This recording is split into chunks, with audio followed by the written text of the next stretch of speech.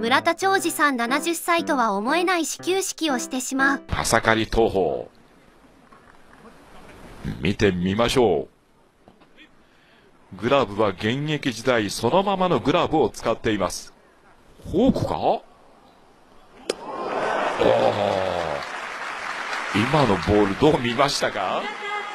いや何何を投げたかちょっと分かりなかった分からなかったですけどもね70であんなに足上げて片足で支えられるのすごすぎる。70歳でこの球投げるってどんな化け物だよ。さすがレジェンド。始球式なのに村田長治の球をじっくり見たい欲求に勝てず、ほう、いい球、って感動した後に急に自分の使命を思い出して空振りする松田信弘の動画。松田、始球式なの忘れてて草。松田だけ今日の先発がガチで村田長治だと思ってた説が濃厚だな。いい球すぎて試合と錯覚してる説。松田、おお、いい球や、あ、振らなきゃあかんやん。